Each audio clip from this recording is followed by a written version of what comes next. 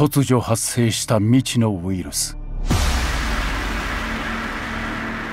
緊急事態宣言による首都封鎖。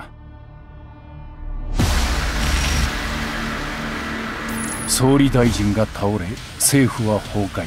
そして日本は絶望的な状況を迎える。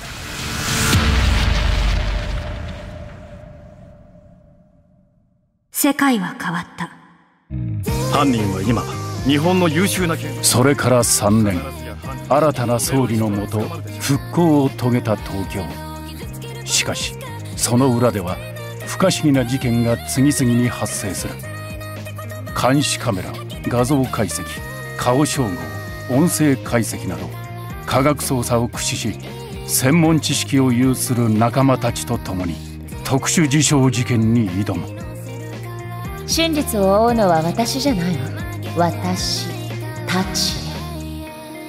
シネマティックアドベンチャー東京サイコデミックそれではご一緒に。インスタ何ですか？